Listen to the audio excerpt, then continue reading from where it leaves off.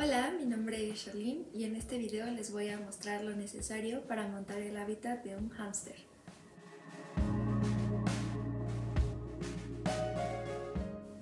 Aprovechando que estoy adoptando una hámster y tengo que montar su pecera, quiero mostrarles cómo lo hago. En primer lugar, necesitas el espacio destinado para el hábitat de tu hámster. Puedes utilizar una pecera, un terrario de melamina, un topper reformado o una jaula de base grande. Con su hábitat necesitas cubrir las medidas mínimas. En este caso, para un hámster sirio, las medidas mínimas son 80 x 40 x 40 centímetros y las medidas recomendadas son 100 x 50 x 50 centímetros. Y para los hámsters enanos, las medidas mínimas son 70 x 40 x 35 centímetros y las medidas recomendadas son 100 x 40 x 35 centímetros. En segundo lugar, necesitas un sustrato apto. En este caso yo estoy utilizando Kite Clean Cozy, pero si no quieres usar papel comercial, puedes hacerlo tú mismo.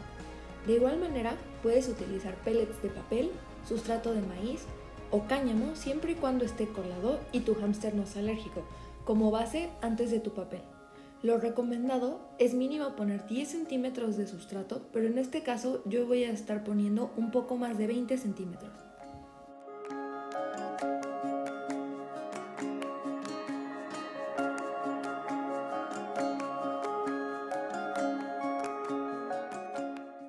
También vas a necesitar una rueda para que tu hámster pueda correr. Esto es muy importante ya que ellos corren más de 5 kilómetros en una noche para liberar energía. Necesitas asegurarte que tu rueda sea adecuada para tu hámster.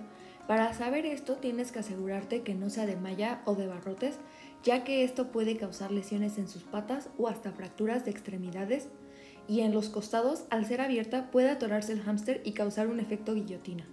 Lo recomendado es buscar una rueda de plástico para evitar esto y buscar que tenga las medidas adecuadas. En este caso, para los hamsters sirios, el mínimo de diámetro es de 26 centímetros y para enanos de 20 centímetros. La rueda que yo estoy utilizando tiene 30 centímetros de diámetro.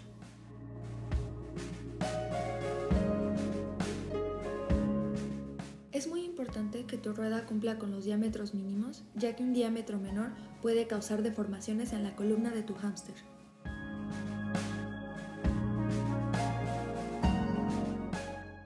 Otro punto muy importante son los escondites.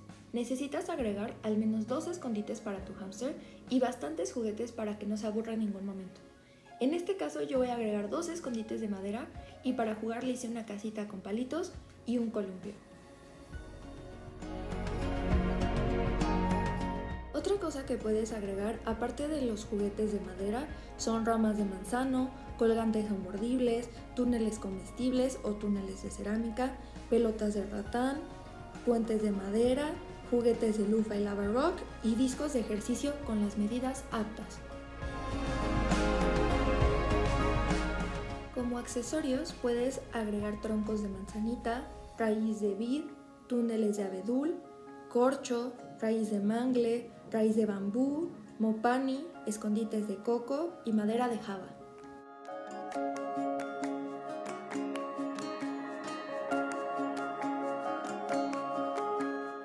Otro punto muy importante es el agua. Tu hámster necesita tener acceso a ella las 24 horas. Para esto puedes utilizar un bebedero o un platito. Para el bebedero puedes usar una base para sostenerlo o puedes utilizar velcro industrial. Ambos funcionan muy bien. Recuerda tener en cuenta que la parte metálica del bebedero debe de tener la altura suficiente para que tu hámster pueda beber en dos patas. Esto es muy importante ya que un bebedero con poca altura puede causar deformaciones a la columna. Para el pequeño bowl de agua necesitas que sea de cerámica o algún material pesado para que no pueda voltearlo. En este caso yo voy a utilizar un bebedero y un plato con agua para poder ver cuál acomoda más a mi hámster. Si te está gustando el video, por favor no olvides suscribirte. Soy estudiante de veterinaria y comenzaré a subir videos de este estilo para ayudarlos a todos con los cuidados de sus animales.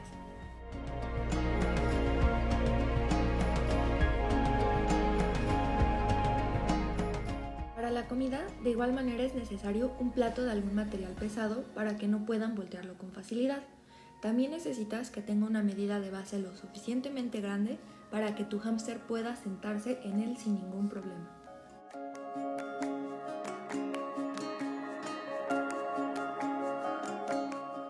Este es el producto final, aunque seguramente cuando llegue tu hámster él decida dónde quiere sus juguetes y tengas que mover algunas cosas dependiendo de su personalidad. Por último, no olvides la tapa. Esto es muy importante ya que los hámsters siempre encuentran la manera de escalar las cosas y podría escaparse. Espero les gustara el video y les sea de gran ayuda para montar los nuevos hábitats de estos hámsters.